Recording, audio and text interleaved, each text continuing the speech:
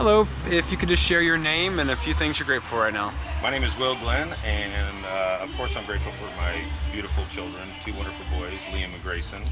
And I'm also very grateful for um, the community, the uh, LGBT community. We have a wonderful community here in Las Vegas, and the things that, that people do to provide things for it